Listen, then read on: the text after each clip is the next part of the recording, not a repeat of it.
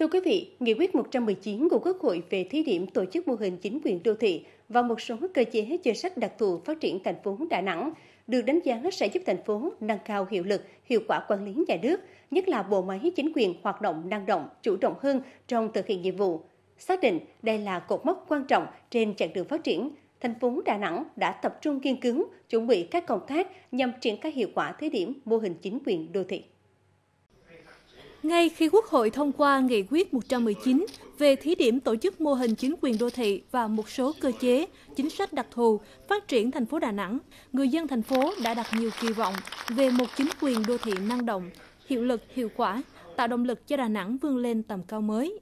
Theo mô hình này, thành phố Đà Nẵng được tổ chức thành một cấp chính quyền địa phương gồm Hội đồng Nhân dân và Ủy ban Nhân dân cấp thành phố, còn chính quyền ở các quận và ở các phường thuộc quận tại thành phố là Ủy ban Nhân dân, không có Hội đồng Nhân dân. Chủ tịch Ủy ban Nhân dân quận, phường sẽ làm việc theo chế độ thủ trưởng. Điều này sẽ giúp cho chính quyền cấp quận, phường năng động, tăng cường trách nhiệm cá nhân người đứng đầu và đảm bảo nguyên tắc tập trung dân chủ. Chúng ta vừa nhỏ, vừa gọn, và phạm vi không quá rộng như các thành phố khác. Cho nên chúng ta lựa chọn cái phương án là à, chính quyền đô thị lần này là nó phù hợp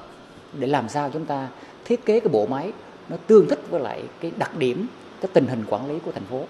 Đối với mô hình này thì có sự đồng thuận à, trong cán bộ, đảng viên và nhân dân thành phố. À, cái thứ hai nữa là Đà Nẵng cũng đã có cái kinh nghiệm 7 năm thực hiện thí điểm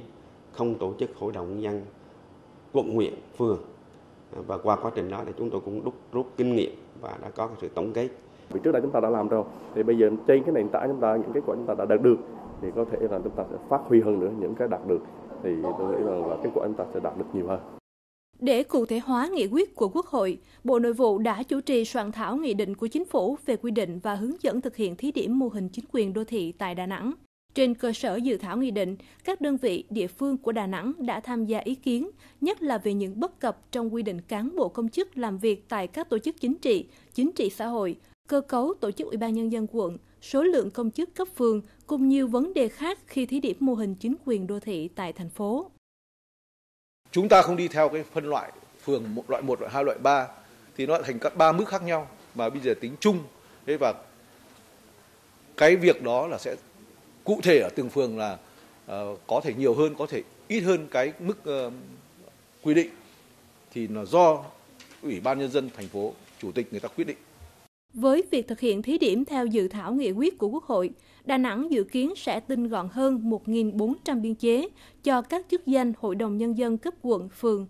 Tuy nhiên, Trước những lo ngại ảnh hưởng đến hiệu quả giám sát ở cấp địa phương, thành phố Đà Nẵng hiện nay vẫn đang tập trung phối hợp chặt chẽ với các bộ ngành, đưa ra các giải pháp cụ thể để tăng cường giám sát và phối hợp giữa Ủy ban nhân dân với mặt trận đoàn thể cung cấp, hướng đến thực hiện thí điểm thành công mô hình chính quyền đô thị tại thành phố trong thời gian đến.